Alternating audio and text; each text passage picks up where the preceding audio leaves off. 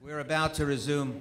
I, I want to acknowledge uh, the Charles River Associates. They're a sponsor of this, uh, of this program.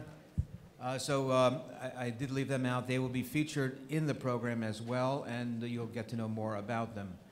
Uh, our topic now is changes at the Labor Board, and we're looking at joint employer issues and maybe the field organization issues uh, that many here in the audience are very familiar with.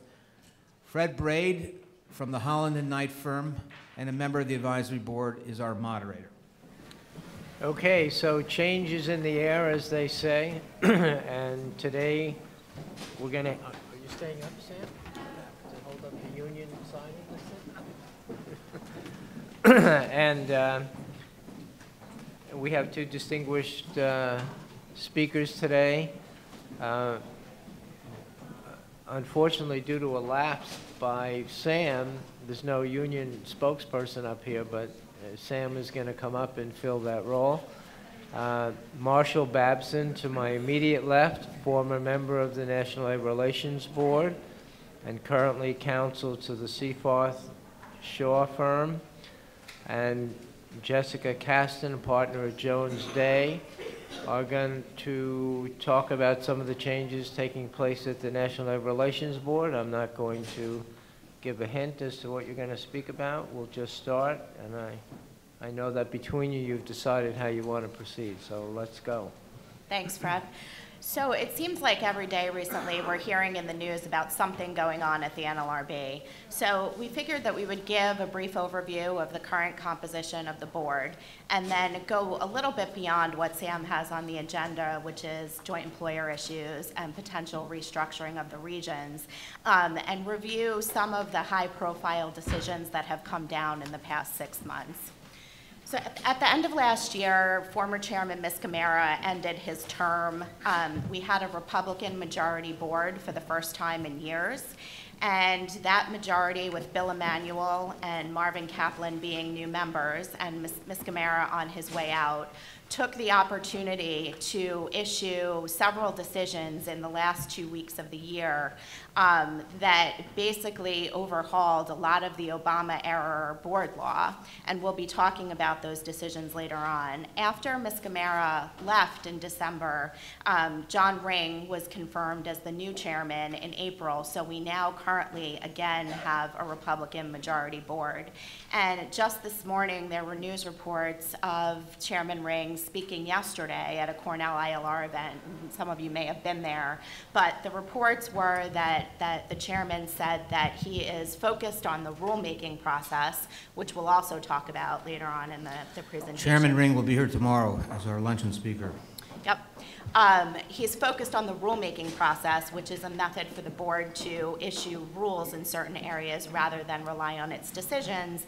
And he also commented that he felt like the, the prior board, the, the Obama board, had focused um, too much and, and, and kind of overbroad interpretation of employee rights to potentially the detriment of employees. And he's looking for ways to kind of come back to the middle.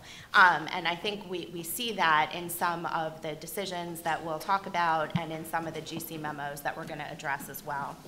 Um, one of the most high-profile issues that the board addressed in December in, in one of its several decisions is the joint employer issue. Um, if you follow joint employer, it's kind of like a tennis match. Um, we've gone back and forth several times recently. Um, this all started back in 2014 with the uh, Browning Ferris decision, in which the board held, it reversed decades worth of precedent finding that two employers could become jointly and severally liable under the NLRA if there's the potential for control over terms and conditions of employment of the other entity's employees. Now, the test prior to that was the exercise of actual control. So if you are actually controlling another entity's employees, then you're a joint employer. So Browning Ferris uh, very much broadened that standard, which had widespread um, ramifications for staffing agency relationships and any kind of third-party staffing or, or, uh, you know, contractor relationship and, and made several industries have to review their relationships with these, these sorts of providers and also kind of threatened the survival of uh, contracting agencies, franchises, and, and uh, other types of Excuse me, Jessica, did the board define what it meant by potential control? Uh, Well, it talked about the reservation of the right to control um, terms and conditions of employment. So you often see terms in, in very common contracts with staffing agencies and other third parties that give some amount of discretion over the contractor, uh, over the contracting party to either make sure that they comply with standards of the contract, but common language that be, that could be construed as potentially reserving that right to exercise some control. And Marshall was the author of the, uh, one of the authors of the brief on behalf of the Chamber of Commerce in Browning Ferris. Marshall, do you want to talk about some of the arguments against broadening the standard? So, thank you very much. It's good to be here. It's good to see a lot of friends and colleagues. I appreciate it very much. Um, We don't see enough of one another these days. And uh, Sam was kind enough to give us enough time that I get to tell a couple of stories, Sam. Thank you. So first of all, I don't know if My everybody pleasure. knows, but Sam and I were in the very same law school class. And since I get to go first on this, despite whatever Sam has said in the past, Sam was one of two superstars in our class. Uh, he and Jerry Lynch. Jerry, of course, is on the Second Circuit now. And the rest of us were just kind of schlepping along, trying to understand what this was all about. And this is a wonderful example that people who kind of schlep along in law school can, in fact, be appointed by the president, become a member of the National Labor Relations Board. Distinguished people like Sam and Jerry go on to become judges and law professors. So uh, I, I think that uh, it, it has special significance and meaning for me uh, to be able to come back here today after, I think, I, I know that I went to several NYU labor law conferences, uh, then at the Waldorf Astoria in a ballroom when I was in law school. I was invited to come to speak when I was a board member, and apropos of some of these changes that have taken place at the NLRB, which repeatedly take place, as you're all aware, I'm reminded of uh, one, one presentation in particular, and uh, there's a reason for my sharing this with you. Um, The day before I was uh, to speak, there was an article in the, uh, the then Daily Labor Report quoting the then chairman of the NLRB, Don Dotson, as saying that he wasn't sure what all this was about the NLRB having expertise uh, in labor law. He had been there for a couple of years and he hadn't seen very much expertise at all. So somebody in the audience, after my presentation, said, uh, so, Mr. Babson, tell me, what do you think about what Chairman Dotson said uh, yesterday in an interview with the Daily Labor Report? So, being the diplomatic guy that I am, and you all know me to be, I said, well, I think he shot himself in the foot. To which Bruce Simon yelled out from the audience, too bad he didn't aim a little higher. So uh, I, I, uh, this has always been a very spirited uh, forum, and I'm very happy to have the opportunity to chat. I was one of the people who was fortunate enough to hear the, uh, the new chairman speak last night at the Cornell ILR event. Um, I'm not going to take any of the steam away from what he's going to say tomorrow. I think you should all listen and uh, take to heart what he says. Um, one thing that he did say that I think, uh, and there- as Jessica mentioned, there were reports this morning about his presentation. One of the things that he did mention that I think is, again, pertinent to what we're talking about today, he, he talked about balance and um, in decision-making at the NLRB. And I think one of the things that some of us have spent a lot of time writing about and talking about over the years, certainly Sam has talked about policy oscillation at the NLRB. Um, You know, what are the bases for making change? What are the prerequisites for making change? Uh, Is it just that you have a different view? Um, and, and what latitude do you have? And I think uh, one has probably less latitude than one imagines.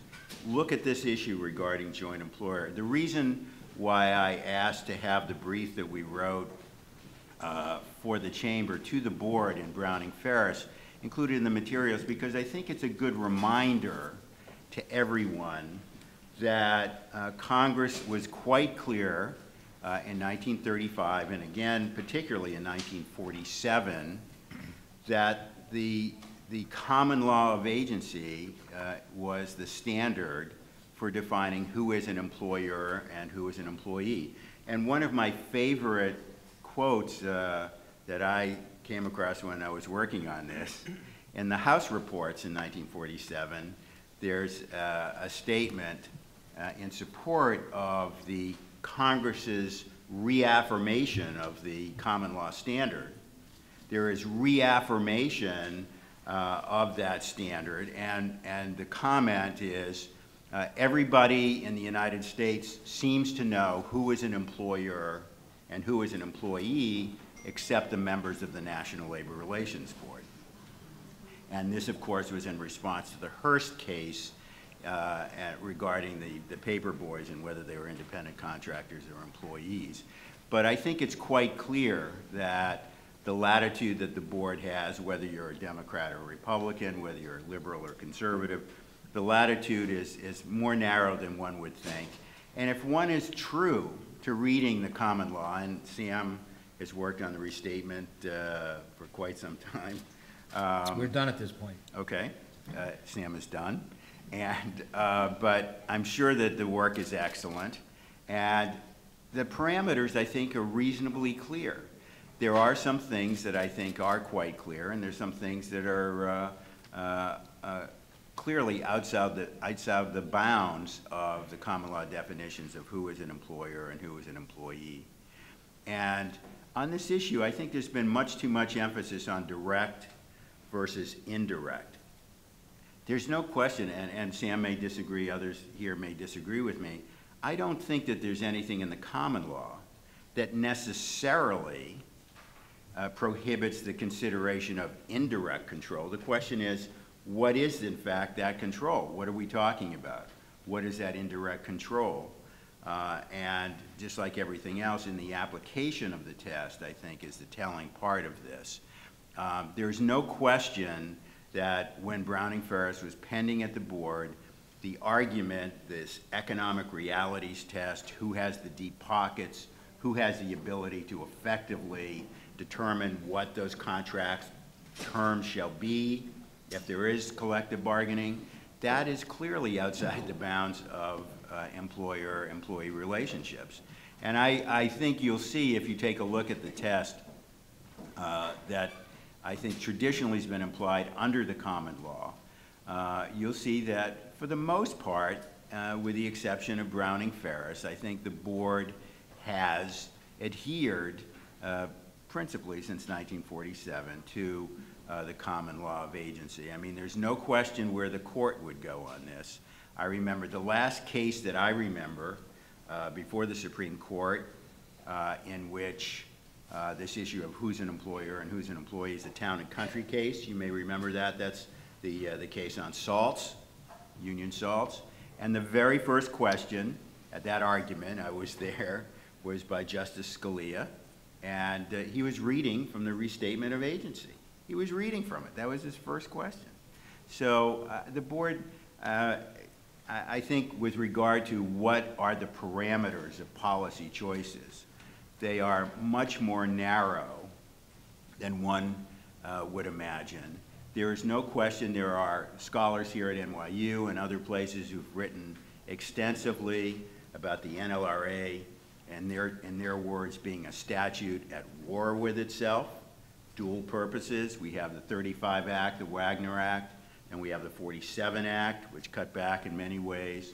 But many of these choices, and we're going to talk a little bit later about the speedy election rules and um, what uh, and, and micro unit specialty health care, what happened to that in the, uh, in the last days of the Miscimarra regime. Uh, Many of these are policy choices, and the choices are much more limited than one would think. Marshall, may I interject? Um, I, notice this panel's a little unbalanced. That's my fault, and I apologize uh, to the group, so I'm going to be the union advocate here to some extent. Um, But what does, what does potential control mean? I- i- If the franchisor is saying expressly that on issues of uh, wages and working conditions, we have the ultimate say, maybe that's relevant. But if the franchisor is saying that we have uh, the ultimate say on aspects of brand management, the way the food is presented, the way you, you, you know, if there's a costume requirement, uh, uniform requirement, is that uh, sufficient, uh, effective control? Well, under the common law, I think the answer is no. That's my view. Um, And But again. If I may say on this, the common, there aren't ma- many common law decisions on this joint employer concept. In other words, when you have, um, when you have a franchisor uh, having a continuing, ongoing involvement in the business. I mean, so, I mean, if we looked at the common law decisions circa forty-seven and before, we wouldn't get very much guidance, I think. Well, I think that that's right, but on the other hand, I do think that there are limitations. I mean, one thing that the common law does make clear is that before you can be a joint employer, you have to be an employer. That's true, that's true. And if, if you uh, are a law firm and you're contracting with a food service company to run your cafeteria, and you say, Sodexo, Aramark, whatever the, you know, Estreicher catering service, whatever it may be, I want to open at six in the morning, I want to shut down at ten in the morning, I want to open again at eleven in the morning, I want to shut down at three in the afternoon, and then open again at six until ten. Uh, This is the kind of food that I want to have served, this is how much I'm willing to spend uh, on food products and so forth and so on. And that law firm does not engage in the hiring, the supervision, the instruction of those people. Um, You know, is that a law firm, does that law firm have potential control over labor relations if there were a collective bargaining relationship? Now, did the board rule in that case that that was uh, Well, in Browning Fair. that would be a my argument- relationship? My argument is, I mean, it would, I think one would be hard pressed, and again, I have a lot of good friends and colleagues here. I think the record in Browning Ferris stinks for extending the rule. Now, there may be cases that are difficult. One thing I think is very clear, if you, if you look carefully at the cases, the board has held more or less without exception that a contractor who retains the right to approve final terms and conditions of a collective bargaining agreement is a joint employer. Right. That, that rule has been in place through Democratic and Republican majorities at the NLRB. That's been in place almost uh, without exception since 1950. Um, And so I think it depends, you know, what, what you call direct and what you call indirect. But when I was asked, to- I, I was, I, I wasn't really thrilled about this, believe it or not, I wasn't. But I, I was asked to testify before the Senate Labor Committee a couple of years ago when Browning Ferris was still pending at the board. And uh, Senator Warren, God bless her, was absolutely apoplectic. She couldn't believe that a franchisor who wanted to make sure that a pizza was delivered in 30 minutes was not a joint employer. She said, I've got it right here in front of me, Mr. Babson. Pizza Hut has a, a program, a computer program. And if you're a franchisee and you're taking more than 30 minutes to deliver a pizza, they're going to call you up and say, what's going on, Mr. Babson? And I said to her, which I don't think she liked, I, I tried to be as polite as I could. I said, you know, I think if I were Pizza Hut, to Sam's question about the integrity of the product, the quality, maintaining uh, brand stability, uh, if I were, you know, Mr. Pizza Hut and, and Senator Warren had a, uh, a Pizza Hut franchise in Cambridge, and she was taking two hours to deliver a pizza to uh, all of her students at Harvard, I think I might say to her, you know, uh, Senator, we're not in the dry cleaning business. We're in the pizza business, and you got to get them out in 30 minutes. Now, how you do that is up to you. Whether you want to hire more people, whether you want to train them better, that's your choice. But in terms of brand integrity, we can't take two hours. Yeah, and to that point, Sam, I think what you, your question about what constitutes indirect control was not completely solved through Browning Ferris. There was a lot of open questions about that. And the facts that you're proposing are very similar to what has been litigated in the McDonald's case, which I'm sure you, you've all followed in some respect. Um, and it, it- there's some question about whether Browning Ferris applies in the franchisee franchisor context at all. We've all heard, uh, or many of us have heard Dick Griffin say while he was still in office that he was trying that case under the old rules. He thought that the McDonald's model wasn't indirect control, it met the direct control test. So put Browning Ferris aside. Uh, you know, I, I can quibble with whether they were actually looking at the Browning Ferris standard during the trial or not. Um, but the, the, the types of things that that Sam has mentioned, brand integrity, uniforms, starting times, um, you know, and this crosses over somewhat into IP rights as well, protecting your brand, protecting your logo, uniformity among the franchises for, for business purposes, um, outside of the labor realm. Those were all facts that were con- being considered in the McDonald's trial. And I think we're gonna fast forward now to December, when the Republican majority board took this issue up in the Hy-Brand case, they found that the Browning-Ferris standard caused a lot of confusion, because people didn't really know what indirect control was. And apart from causing confusion, at base, the, the majority felt like the standard of potential indirect control or reserving the right to control, and, you know, some of the examples that Sam gave just went too far. It was too broad of a standard. So in December, the board overruled Browning Ferris, and in Hy-Brand, it said, we're going back to a direct control test. We think it's clearer, we think it's gonna clear things up, you don't have this question about what's indirect, what's a reservation of rights. If you are directly controlling the terms and conditions of employment of another entity's employees, you are a joint employer. Okay, management bar was all very happy, now we're proceeding under Hy-Brand. Until we get to January, a month later, when the charging parties challenged the Hy-Brand decision, uh, claiming that member Emanuel should have recused himself because his former law firm represented one of the parties in Browning Ferris.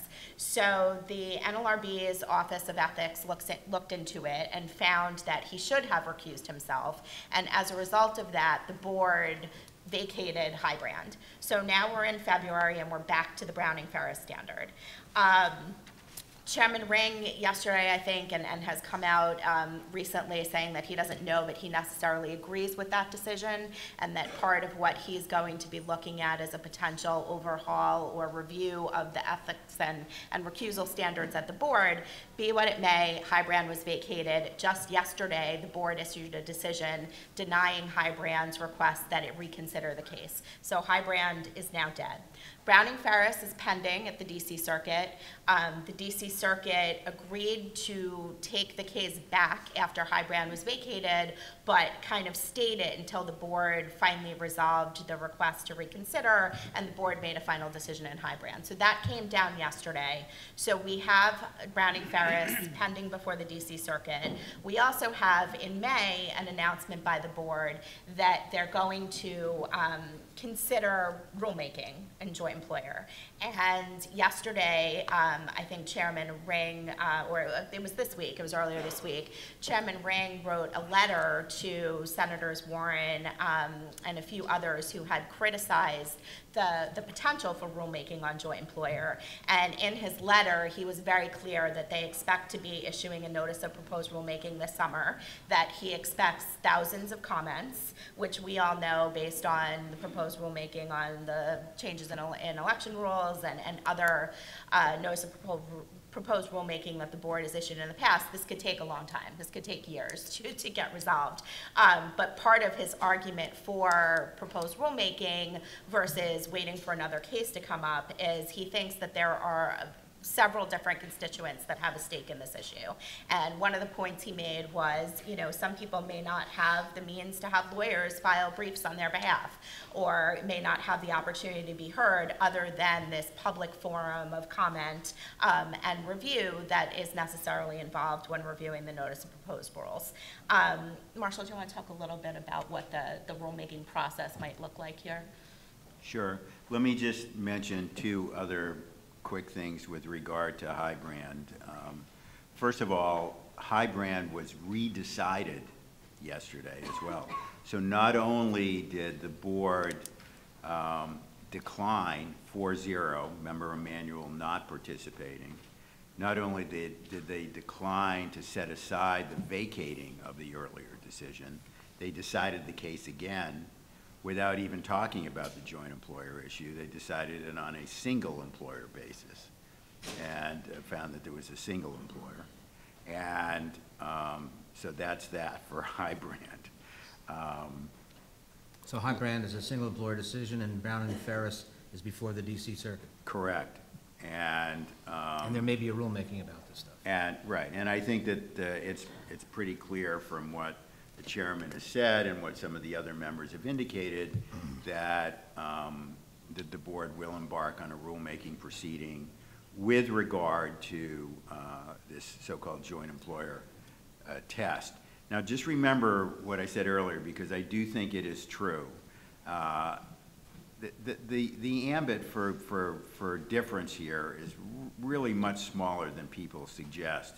And I do really, and again, I just want to underscore that the difference between direct and indirect, it really depends on how you're defining it, because there is nothing in the, as I said earlier, in the common law that prohibits, uh, in this case, in my view, the board from finding that certain forms of indirect control uh, can constitute employment. So let's stay on that. The- Isn't the allegation in McDonald's, I mean, you're more familiar with this than I am by a long shot, because Jessica's been involved in litigation, but isn't the allegation that the franchisor controls so many aspects in the name of brand management? They control so many aspects of, of the, of the relationship, there's very little room for collective bargaining. There's very little room for collective bargaining, not just hours of operation, but uh, effectively uh, with the control of the pricing and this, and uh, marketing, uh, there isn't room for collective. Well, I mean, I isn't that think. the- Isn't that the argument, Uh, or? Well, that's one of the arguments. I think that's one of the arguments. And I think one of the things that struck me that actually came away from the Senate testimony being a little more positive than I had anticipated. um, I mean, I'm not sure that the present uh, common law standard that Congress made abundantly clear in 1947 uh, applies under the National Labor Relations Act, does not need to be re-examined in light of all the changes that have taken place in the workplace. Let Congress decide. Um, Is it appropriate for the NLRB uh, to devise new tests that they think deal with situations? If I can just stay on that for a second, it's, Congress did not amend the Taft-Hartley Act to provide for the common law standard. What Congress did was overturn the Hearst decision, and in committee reports, they said we're going back to the common law agency standard. But committee reports can't change the statute. Well, no, they also, no, no, they did. They, they, they amended it to provide for an independent contractor without definition. I list the stuff I know. Uh, there's no definition in the statute of what independent contractor is, and No, they did not. right. But they They did did not put in the- the statute. They did change the definition of employer. No. They did, they amended it. They amended it. Employer? Yes. I don't think so. But anyway, It's in I- the I- brief. It's I- in the I brief. have the book right here. Yeah, it's, it's in the brief. I have the, I have the NLRA right here. You tell me where they did I it. use, I use this when I teach labor law. I- Sam, it- it- Sam. uh, Committee it's- reports it's the cannot best- change the it's the best- statute. It's Yes, the best. It's the best book on the market. It's the market. best book on the market, Yes. absolutely. And my students really appreciate it. Okay. But no, look, just take a look at the brief. I mean, I think it does explain what it is that Congress did. But the point that I was trying to make is, is that if there are in fact substantial and significant changes in the way we deploy the workforce and these contractual relationships for a more responsive, on-time economy, so that, we know that these changes have taken place in the last uh, 40 or 50 years, then maybe it's, Congress's purview, not the NLRB, to try to adjust these instead of torturing the existing rules to accommodate these new situations. I'm not saying that it must be done, but certainly it's something that uh, I think should be considered. Now, with regard to the question that Jessica asked on rulemaking, uh, I think that, you know, Sam has written about this uh, extensively. Um, Rulemaking is a credible and severely underutilized mechanism, as you all know, at the NLRB for uh, establishing the rule. Now, when I was at the board, one of the things that we did that I was very proud of and remain so um, is that the bargaining units in the healthcare industry, the rulemaking that took place at that time. Um, What was the purpose? I mean, employers and unions were spending a year, a year litigating what are the appropriate units in a healthcare institution. Uh, That clearly is not consistent with the purposes of the statute. So, providing notice, providing a proposed rule, providing a comment period, giving people an opportunity to uh, comment again on revisions that may be made, and then adopting a final rule. I mean, the board itself has had uh, more recent experience with the speedy election rules. We're going to talk about that in a little bit. Um, But I think that this is a process that will not end uh, in August of 2018. It will begin at that time and likely will not uh, end until sometime in the first quarter of 2019. So Marshall, it sounds like the DC Circuit will likely come down with a decision on Browning Ferris and the joint employer issue long before we ever get any rules from the board. It's not clear. I, uh, it's not clear, it's, it's not clear. My firm is now representing Browning Ferris, so I can't say too much about what's going on, but uh, it's not clear what the, uh, the court will do. Okay, does anyone have any questions on the joint employer issue before we move on? Is the principal issue in the Browning Ferris case whether indirect control can sometimes suffice? Is that the principal issue? Direct control clearly is enough, but is the issue what forms of indirect control will will suffice? Well, it's been framed that employer? way, but the record is not a very good Just record good to support for it. it, Yeah, the record facts, I mean, I, again, I understand reasonable people can disagree, but, uh, you know, in my view, the record was really very scant. And is Chairman Ring suggesting that while this rulemaking is pending, there'll be no further change in the uh, joint employer standards? Is that the suggestion? He didn't, he did not address that, yeah, and I, would- I would assume that's the case. Could you stand up, identify yourself, Gene Eisner. Um, member of our board? Pardon? You're a member of our board here. You are a member of our advisory board here. Yes, yes, I am. Eisner Dichter. Um, I- In 1935 and 1947, when the act was first passed and then amended, uh, you didn't have the concept of uh, uh, agencies hiring employees and sending them in to work for employers, to work side by side with employees for an employer. And they, they were doing exactly the same work, uh, but they were being paid by the agency, not by the uh, putative employer. So, uh, one of the questions is, uh, who do the, who is their, clearly the employer is the agency that they, they're working for, but they're basically, uh, their working conditions and everything is being controlled by the, uh, actual employer who employs the most of the bargaining unit.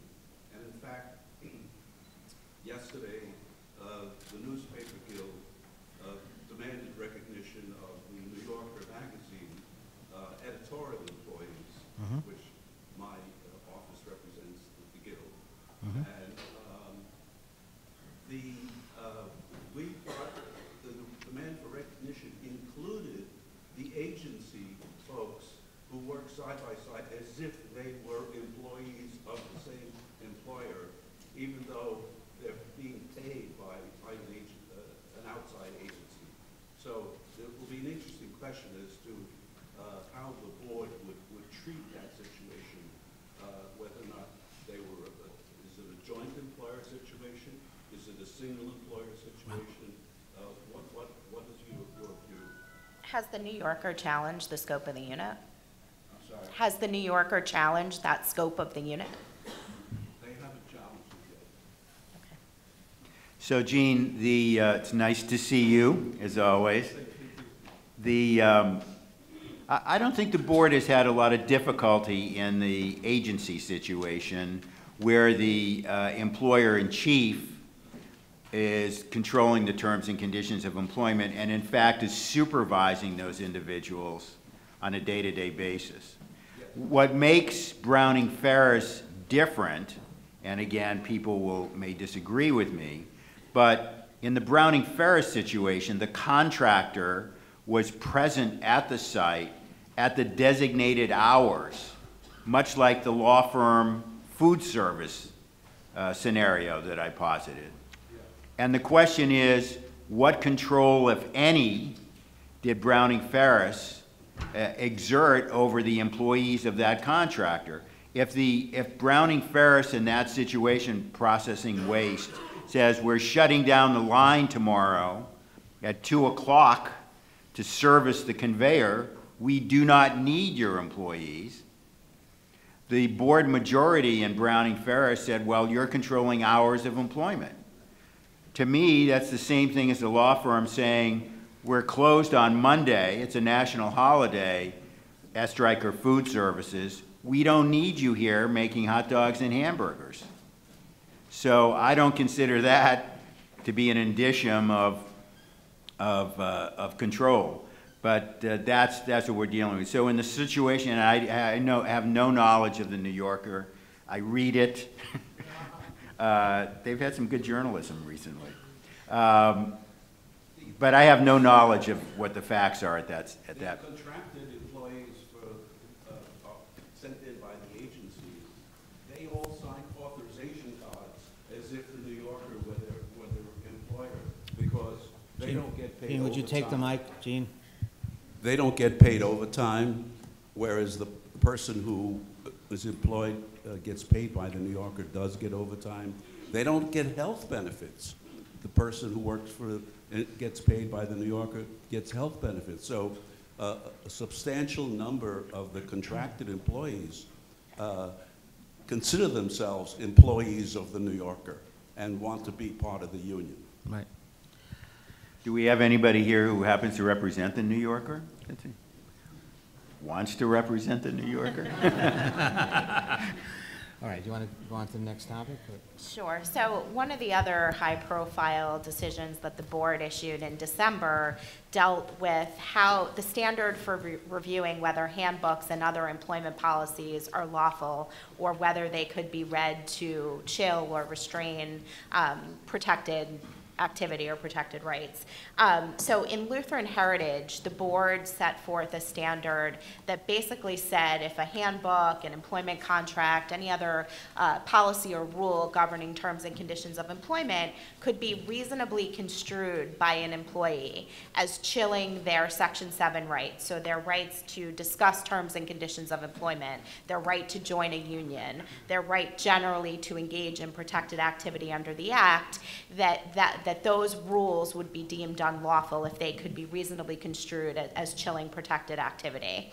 Now, the Obama board really pushed that to the limits, and, I, I'm going to give you some examples that we, we've cited in the paper that we submitted. So, under the Obama board, rules that have been found as unlawful ranged from rules prohibiting arguing with your coworkers or supervisors, because that rule could be reasonably construed as saying that you can't talk about your terms and conditions of employment. Um, rules that say that you have to treat others with, res- with respect. General civility rules were struck down as unlawful depending on how they were worded, because under the, the former board's uh, perspective, those could be reasonably construed as limiting um, protected activity. The failure to maintain a positive work environment. Um, the, if, if you prohibited generally, um, you know, no fighting or no, um, you know, speaking to your manager in a respectful way. All of those types of rules over the past couple of years have been struck down.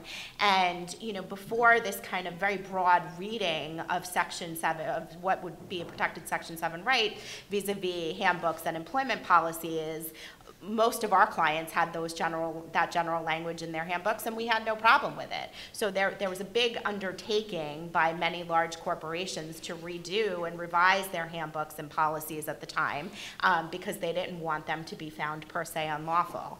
Um, so this, so this has been, um, and I'm sure Marshall's had the same experience, a, a big area of advice that we've been Can given over the past couple of years. Were these facial challenges, in other words, the employer or the union comes to the region and says, this is facially overbroad?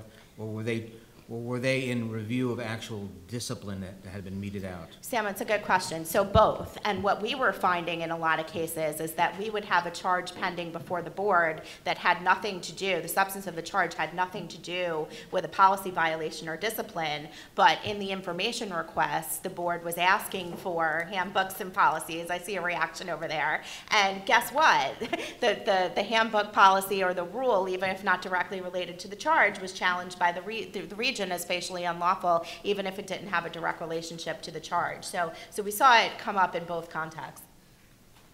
So this is something that I, uh, and please forgive me, I, I don't, to use a, so, so first of all, just to back up a little bit, uh, as Jessica and I were talking about earlier, uh, General Counsel Robb, who's going to speak in a little while, uh, issued yesterday a new post-Boeing um, uh, memo. We didn't get to Boeing yet. Okay, all right. So, all right, I apologize. To Boeing. And, and, and, and Jessica's gonna explain to you a little bit about what Boeing did with Lutheran Heritage. Um, w- w- I'll, I'll focus on Lutheran Heritage, the Lutheran Heritage Rule first, because that's really what I wanted to say. Um, No one could go to the General Counsel's office in the last twenty years and sit there and argue a case. And I, and please, and again, I don't, this is not intended to be an ad hominem comment, but I always call it the John Higgins rule, uh, or standard. Because John, you know, so bright and so distinguished, a long career at the NLRB as a deputy GC, he'd be sitting over in the same chair in the same corner. And whatever the case was, at one point, he would interject and say, well, couldn't an average employee read this rule and be chilled in the exercise of his Section 7 rights? And that, that is what Lutheran Heritage is. Basically, that's what it stands for. Could an employee read the rule and without having been uh, disciplined, without having, uh, you know, uh, been spoken to in any way with regard to the rule, could he or she read the rule and feel inhibited in the exercise of Section 7 rights? So again, fast forward to December, um, and the board in its Boeing decision overruled Lutheran Heritage. And Can I just, just, pardon me for, a minute. and so what do you think the answer to that question is? I mean, I mean, of course, I mean, to ask it is to virtually answer it. I mean, it was virtually, you know, could an employee read it and be uh, chilled? Uh, In many of these instances, uh, the answer would be yes. I'm sorry. That's okay. Um, So in the board's Boeing decision, they replaced the Lutheran um, Heritage reasonably construe standard with a two-step analysis. First, the board is going to evaluate what protected activity may potentially be chilled by the specific rule. And then it's going to engage in a balancing test. It's going to look at what the employer's justification was for issuing that rule. So I think the theme here we've seen since the Boeing decision has been issued, and Marshall mentioned that GC Robb issued a 20-page GC memo yesterday um, giving guidance on how to interpret Boeing and how to look at policies and handbooks going forward, is, is more of a balancing test and more of um, an acknowledgement that in circum- certain circumstances, an employer will have the right to balance its interests against the potential chilling of Section 7 rights, and tried to strike a, a- what, what GC Robb termed as a better balance between Section 7 and an employer's rights.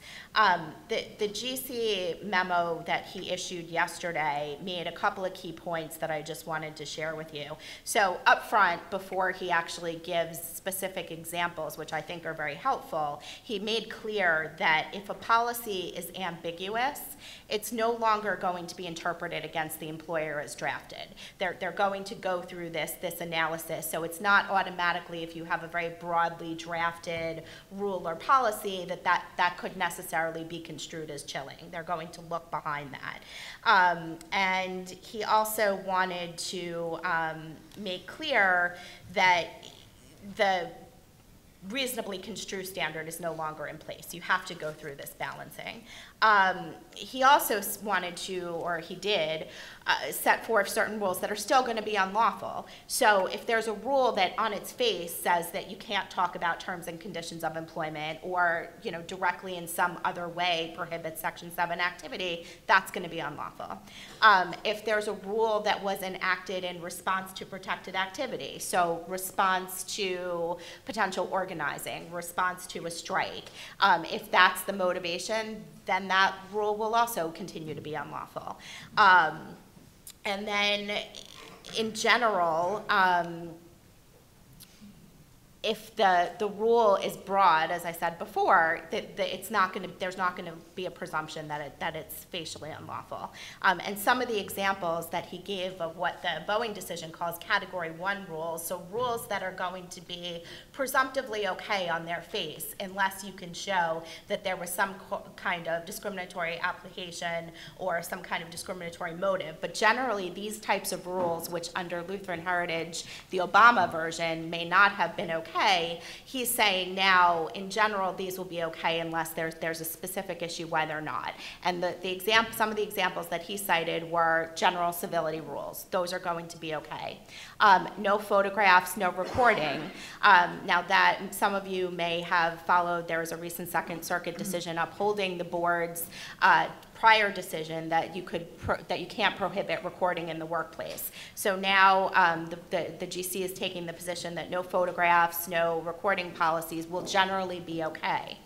Um, rules dealing with insubordination, so, so, um, the, kind of the, the rules that we said before had been struck down by the Obama board, but rules dealing with, um, not fighting with your supervisor, acting civil towards your co- coworkers, not engaging in insubordination. Those on their face will generally be okay. Um, he also addressed confidentiality, rules allowing an employer to exert, um, rights over confidential and proprietary information. Um, we've seen under the Obama board, some of those, uh, types of rules be struck down because they could be construed as limiting someone's ability to disclose wages or, you know, section seven protected types of information. Um, defamation, rules against defamation, um, rules against using the employer's logo or ID, which had also been struck down by the Obama board as, um, I think the argument there was if someone's picketing and they use the company's logo, that's protected activity. So you can't have a rule that generally prohibits the use of it, even if there may be IP issues there.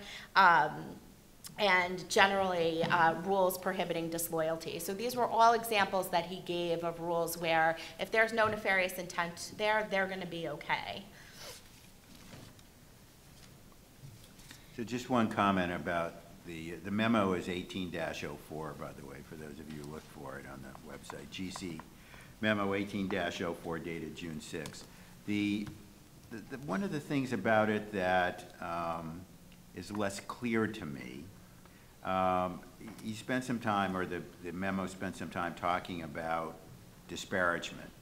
And so what I took away from it was, because the, the, uh, the memo takes some pains to make clear that they're not uh, inhibiting the exercise of Section 7 rights, what I seem to take away, and I'd be interested if any of the rest of you have read it, or if, when you do read it, what your reaction will be. But it seemed to take the tack that it's okay to uh, disparage as long as you're polite about it. But if you're not polite, um, then you could have a problem. And I, uh, politesse is not something that I just associate with the National Labor Relations Act, you forgive me.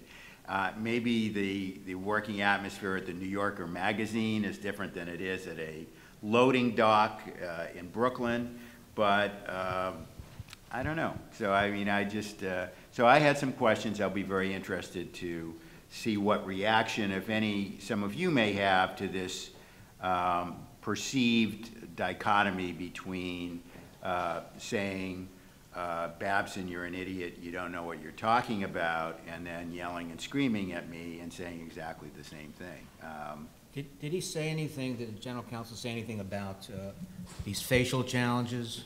you come in and you show the handbook and say it's capable. Well, he says, as Jessica said, there, there- he said there will no longer be a presumption. No- But you can still come in there and make the argument. Right. Okay. Any questions about Boeing or the GC memo? Wait, we- you need to, you need to take the microphone. We really should reserve questions for the end. Larry, you have to wait one second, please, I'm sorry. That's what we should put for the end. It's coming, That it's coming. It's coming. It's coming, Larry, right behind you. Yeah.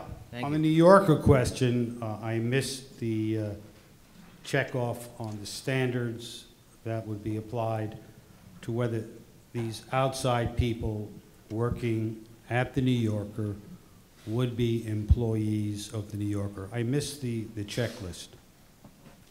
Well, I mean, I, I, not knowing the facts, I'm just, but generally, my view is, is that the board has not really disagreed very much from board to board, that if the employer, in fact, is supervising those those people on a day-to-day basis, um, you know, setting their break time, telling them, uh, that your job's, you're not doing very well, Babson, do better, or this is what I need you to do, that he's likely to be found to be an employer or a joint employer. Excuse me, do you have a question? Sorry. Could you repeat the last sentence, Marshall? Um, If the user employer, I mean, let's try my hand here. There are two employers, there's a supplier and a user. If the user employer is in fact making decisions about wages, hours, or working conditions of the user and people, then he's gonna be deemed a joint employer or a single employer. We're not sure of the theory. Is that basically right? Right, Yeah, that's I'm right. not sure it can be a And- single employer. Yeah, Well, no, maybe- he's gonna be a maybe- joint It's gonna be a Well, employer. maybe a joint joint employer, but I'm not, yes, Yeah, must and be- if he's must be a joint employer. supervising them on a daily basis. Even, you know, on, on a daily basis. That's different from the, uh, the franchise situation where it is more, um, in the nature of the, maybe computer controls and, uh, but it's not day-to-day supervision. Yeah, so the facts that Gene were recounting at the New Yorker seem more like a direct control analysis versus the indirect issues that Right. are coming up in Browning Ferris. I mean, if they have to do a joint employer test, I think it's Browning Ferris that now governs until we ha- we have a decision by the DC Circuit, another decision by the board, or a proposed rule. Um, but based on what Gene said, it sounds like there's an argument that the New Yorker is exerting direct control over the contractors. They're working side by side under the same terms and conditions of employment. And they're, you know, if the New Yorker wants to challenge it, they're gonna have to show that they're not actually exerting either direct They're or not- indirect control. Not actually doing that. Uh, do you want to go on to the next topic? Sure, so, so one of the other issues that the board tackled in December is specialty health care, which is the appropriate of bar, uh, bargaining units, the appropriateness of bargaining units. Marshall, do you wanna talk about that? This is the so-called micro-unit issue. Right. So the, the, uh, the punchline, which all of you know, is, is that the board in December, the Miscimarra majority uh, overturned, um, overturned specialty healthcare uh, in a case called PCC Structurals, returned to the traditional community of interest. Now, again, because everybody here is a professional and you guys all do this all the time, I'm not going to talk to you in detail about the case, but I think this is a wonderful example of this policy choice question that I framed for you uh, earlier in my remarks. Um, th- Those who advocated uh, specialty health care and this so-called overwhelming community of interest that one must demonstrate to bring in additional employees to the unit petition for. We all understand that the employer doesn't get to pick the unit and so forth and so on. But query, and I ask the question, remember what this statute was passed to do. Uh, It was passed to protect the right of employees to engage in collective bargaining, to, to even the playing field somewhat. But the Congress's primary concern was there were too many labor disputes. There was too much dislocation in interstate commerce. So you look, my favorite example of why specialty healthcare, in the, in the view of some of us, is inconsistent with the purposes of this statute, the Wagner Act, is because, look at the Macy's case in Saugus, Massachusetts. The women's shoe department is a separate bargaining unit. Apart from the men's shoe department, apart from cosmetics, apart from, you pick, these are people who are selling, and there was, if you look at the factual record in the Macy's case, there was interchange, uh, There were, the terms and conditions were the same, supervision was subject to the same overall standards. Uh, These are the traditional community of interest standards.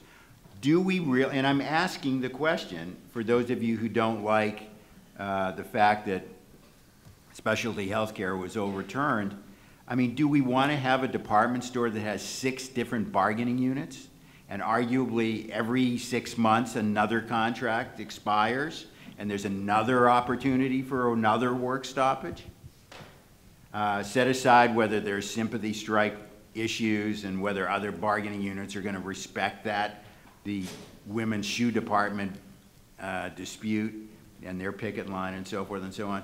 It just seems to me when we're talking about policy choices that one needs to keep in mind the purposes of the statute. If in fact one of the fundamental purposes of this statute was to avoid interruption with commerce, and strikes clearly do that, um, then why would we want to have a proliferation of bargaining units in a department store?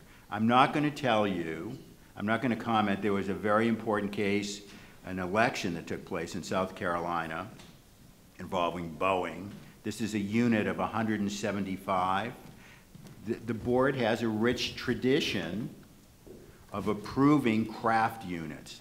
Is that a craft unit at Boeing in South Carolina? I do not know.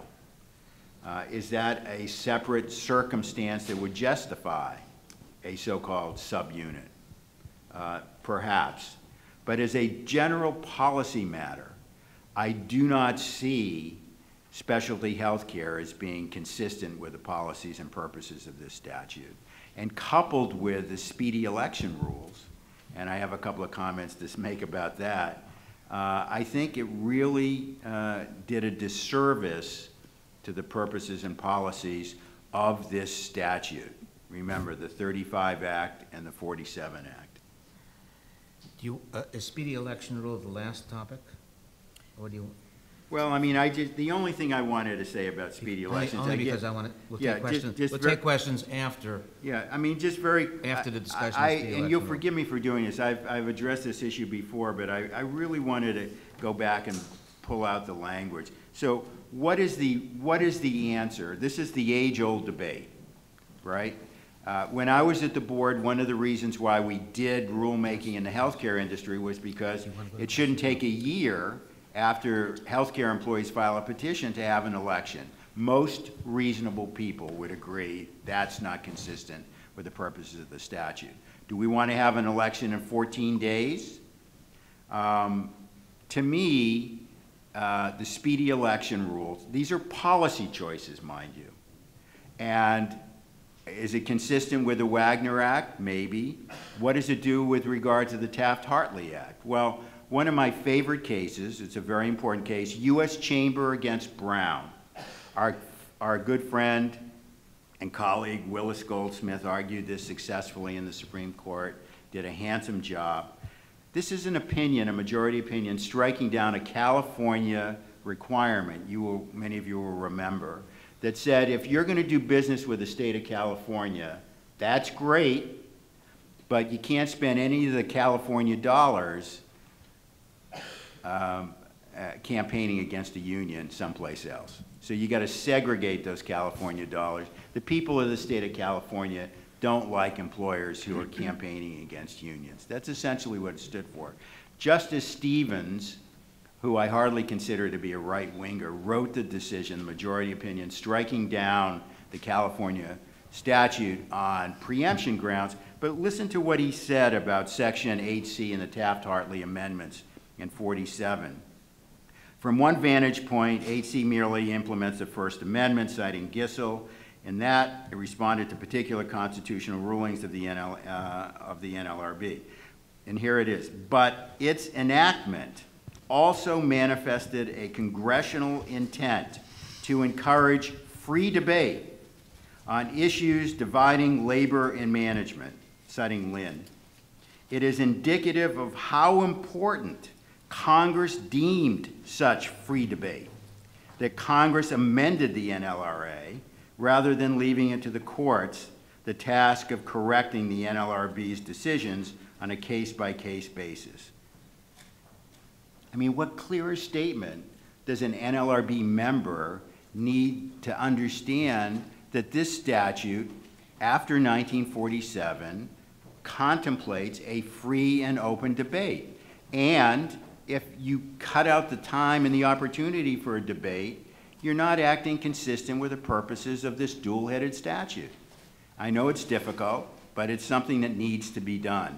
Those dual interests need to be accommodated. The, the original question that I was referring to is this argument that academics and practitioners have had for years. When a union files a petition and then the, the union ultimately loses the election, is it A, because the employer is engaged in unlawful conduct and has threatened and scare, scared people to death? Or is it because now they have more information and they're making a choice having heard both sides? People will never agree on what the answer to that is because there are employers who do both, right? We know that. There are good employers and bad employers, just like there are good unions and bad unions in that regard. So is your view, uh, the board should scrap the entire? Well, it Rule seems to me, or- you know, the or- board or has issued a aspects of it. notice asking for comments. Uh, The chairman indicated last night uh, that those comments were being uh, taken into account. He did not signal or indicate uh, that a new rulemaking proceeding would be underway. But it seems to me that there are substantial questions as to whether or not the speedy election rule, and, and when I was at the board, we wanted to try to get elections speeded up also, but not to the point of precluding the free debate that Justice Stevens said is an integral part of this statute. All right, uh, Jessica, before we take questions, Gene, we will take, we will take them. Do you have any, anything further on the presentation? We also wanted to briefly discuss the class waiver issue since the Supreme Court's decision just came out recently. And for those of you who weren't following, which most of you I'm sure were, um, there was a circuit split, which was led by some cases involving the board as to whether class waivers violated Section 7 and took away employees' rights to um, they were relying on the, the portion of Section 7 that says to engage in uh, activities for the mutual aid and protection of other employees. And the board took the position that um, having the right to join a class or collective action fell within that catch-all and that um, class action waivers should be facially invalidated as uh, violating Section 7 and that Section 7 rights should cede to the FAA. Um, and for those of you who have read the court's decision authored by Justice Gorsuch, Gorsuch, um, the, the court took a very different and much more narrow um, view of Section 7 and the mutual aid and protection prong, finding that, um, and, and, and Marshall, I know, has some comments on this also, but basically finding that A, the congressional intent of the NLRA could not have been to include things like participating in a class or collective action under the mutual aid and protection prong because those things didn't exist in the 1930s. So from a congressional intent perspective, the court didn't buy that that was the intent of, of Section 7. And then um, with respect to what does mutual aid and protection mean, the court said that because it, it comes after a string of specific examples cited in Section 7 of what protected rights are, the right to join a union, the right to refrain from joining a, un- a union,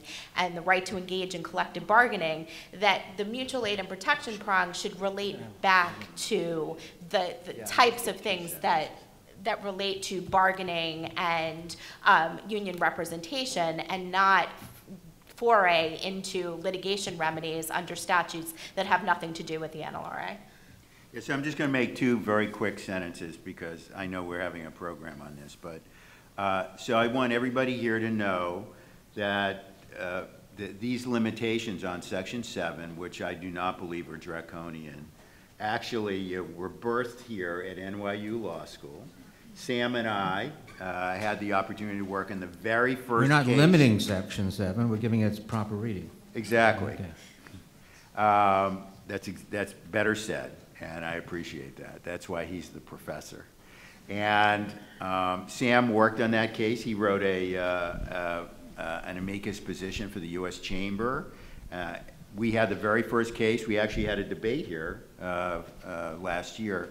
Cliff Palefsky was the first person to argue that Section 7 uh, precluded class action waivers. And this is an issue, has been pointed out, that's uh, been up and down uh, for quite some time. And, um, and, you know, I think our arguments are fairly represented in the majority opinion. We're going to have a whole segment on this. Uh, Can you just say a word about the, the attempt to reorganize the regional offices? And Yeah, then we'll so take- just- Then we'll take Q and A. Yeah, very, very briefly, um, and I don't have to uh, remind anybody here from the NLRB, the- the, um, and I think most of you are familiar with the, with the news reports, of which there have been many. Uh, I know that General Counsel Robb has been concerned that uh, his discussions with the regional directors last January, in which he talked about a reorganization of the regions, uh, became a subject of uh, public discussion. Uh, There have been letters that uh, were written by the Regional Directors Committee to the General Counsel that have become public New York Times article. correct? Um, There are, um, uh, there are, there's a letter by 56 former regional directors. Uh, The, the long story short is, is that, and Chairman Ring talked about this a little bit indirectly last night, uh, notwithstanding the fact that the NLRB's budget was approved at the full amount in the compromise deal that was reached by this Congress, 274 million, the Trump administration has subjected, and I asked the chairman last night where this came from. I think, for those of you who are present, if you think I'm misinterpreting what he said, I think he essentially was saying that this is coming from the administration, from Mr. Mulvaney at the, the Office of Management Budget, that, uh, that the administration is engaging in a practice or process that uh, some call rescission, uh, There's a debate about whether or not it's uh, lawful or not for the administration to refuse or decline to spend funds at agencies and departments that have been allotted by Congress under the, its congressional powers. And uh, so really what the chairman and the board and the general counsel are doing uh, is, at this point in time, dealing with a downturn in case handling, uh, and what they perceive uh, as being perhaps a time to um, reexamine the organization of the board and determine whether or not some other uh, more efficient, uh, more effective way may, that may exist for uh, deciding uh, cases than in the present situation. I think all of us, whether we're management lawyers, union lawyers, we've all benefited from having a, uh, uh, you know, a highly educated, highly qualified regional staff, including regional attorneys and regional directors and ARDs, who look at our cases, who know the parties, uh, and who make decisions in timely fashion. Uh, One of the things that the general counsel uh, posited in his discussion in January was bringing more decision-making authority closer to Washington. Um, Each, my recollection is each regional director makes somewhere between 2,000 and 2,300 uh, decisions a year. Um, There are about, I think there are 24 regions now. Uh, They may shrink down to 21, the lowest in many years. But um, try to imagine 20 times 2,000 decisions being made in Washington. That's a lot of decisions. So what the final proposal, if any, may be, what restrictions because of budgetary constraints uh, exist, uh, we'll have to wait to see. Uh, It's my understanding that both the general counsel and the board uh, have represented not only to the career staff, but also to uh, the public they serve, that they will shop these proposals uh, and the potential impact with each of the constituencies. So that remains to be seen. Thank you. Uh, We have time for one or two questions. I saw my board member Jerry Kauff stand up. Do you still have a question, Jerry? I did. Can we get a microphone to Jerry? You're forcing me to make an observation. Um, Marshall, um, with great respect, um, I'm wondering whether Justice Stevens um, uh, was expressing um, language that might be considered uh, dicta rather than uh, the holding. And um, I'm also wondering whether you're taking that um, very general statement and arguing uh, a very specific thing, and that is the speedy election rule. Um, I, I think that uh, in general, uh, employers are aware of union, don't, don't, don't uh, strike me dead here because I'm a management lawyer. Um, uh, it, it it seems to me that most employers know uh, quite in advance that there is a union campaign going on. And in general, uh, use that period of time before a demand is made or before a petition is filed to engage in um, uh, a debate uh, with their employees with respect to whether um, they want unionization. Um, and uh, once a petition is filed, there is a period of time. I know it's called the ambush uh, rule, but I think we ought to acknowledge that under the prior, um, under the prior uh, rule, uh, employers, uh, almost as a matter of course, used the machinery of the act and the administration of the act to delay uh, elections. So um, I, I think that while speedy elections do have, um, it depends on what you mean by speedy. Uh, if, if you said the election was held in 24 hours, then certainly there's no debate. If it's held in 18 days, then there is some debate if there is knowledge prior to the um, petition, there is or could be considerable debate.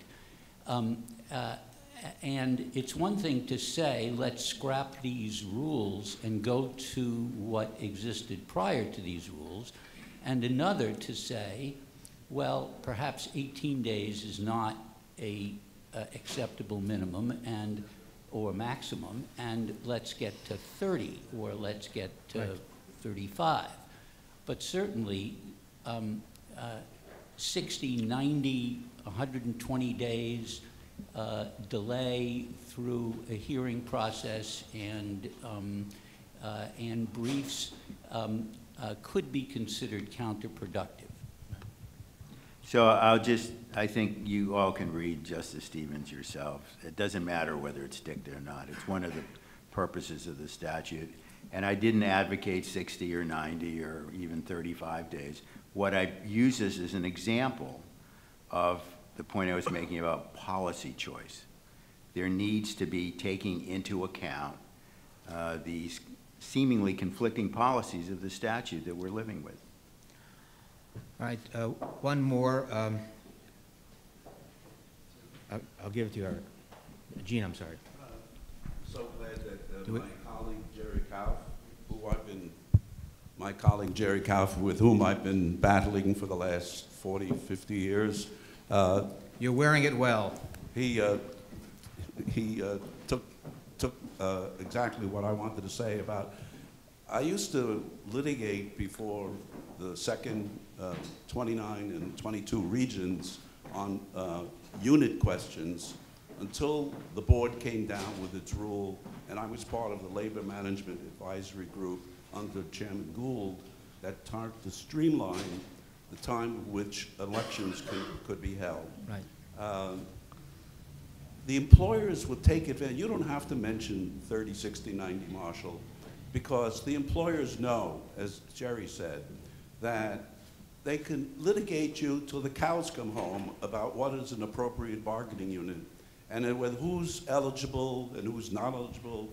They challenge people, and without, without any rule expediting the election process. Every member of the regions here knows that, that they, they will be allowed to, to, to litigate those questions And, the, and it will run into 30, 60, 90 days, as in my experience. That's number one. Uh, number two, I wanted to address your rule on the specialty health care and uh, separate bargaining units. What I'm concerned about, Marshall, is that I represent also uh, retail workers, and uh, they, back in, uh, in the 50s and 60s, 70s, uh, s- started to file separate petitions in department stores for selling, non-selling, and office employees. And the board, uh, back in, I think in 1965, uh, held uh, that separate units in, in, in uh, department stores for selling, non-selling, and office was appropriate for the first time. Uh, What I'm concerned about is now with the reversal of the specialty healthcare, uh, whether the, uh, the board is going to rever- reverse itself and go back to saying, oh, whole store is appropriate. Uh, You can't have selling because you don't want to have selling, non-selling, and then you're going to have strikes every six months, nine months, 12 months. Uh, Whether or not, in your view, Marshall, do you think that all selling in a, in a store, not just women's shoes, uh, all non-selling would be appropriate, and all office employees who have little or no interchange with, with the other folks, whether you think they would be appropriate? So I, I guess I can answer the question very, very quickly. It reminds me of what Abe Ribicoff said after he retired. I, I don't have to do that anymore. Um, The, the, I think the answer is yes. I think that the board would uh, and should ad- adhere to the traditional standard.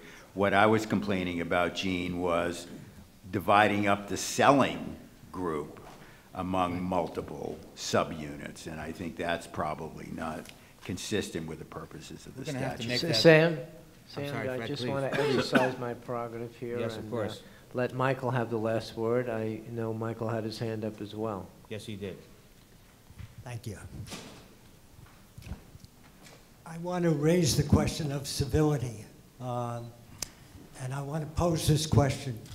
If any of us in this room were to set up our own business, and an essential element of that business, given our personal philosophy, would be there can be disagreement, there can be, there's room for argument, but civility in my workplace is absolutely essential.